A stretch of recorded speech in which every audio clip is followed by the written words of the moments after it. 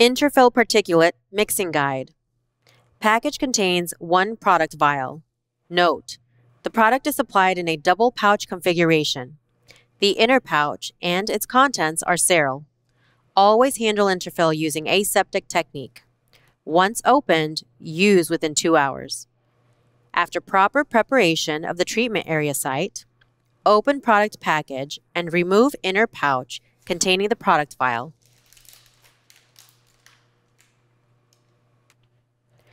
Notes on mixing aseptic technique. The product may be used dry.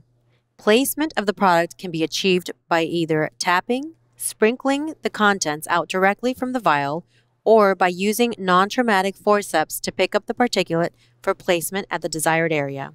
To achieve a paste-like consistency, add 0.6 mLs of sterile fluid for the 100 milligram vial or 0.3 mLs of sterile fluid for the 50 milligram vial seen here. The consistency can be altered by adding more or less liquid. The resulting wet particulate may be placed as desired. Sterile saline or other sterile fluid may be added to the particulate for a wet application. To achieve a paste-like consistency, add 0.6 mLs of sterile fluid for the 100 milligram vial or 0.3 mLs of sterile fluid for the 50 milligram vial seen here. The consistency can be altered by adding more or less liquid.